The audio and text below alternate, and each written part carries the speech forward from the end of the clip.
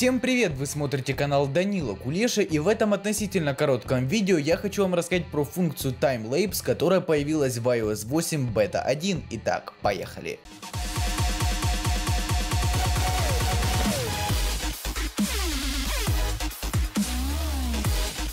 Суть этой функции заключается в том, что из серии фотографий она создает видеофрагмент, который вы можете видеть у себя на экране.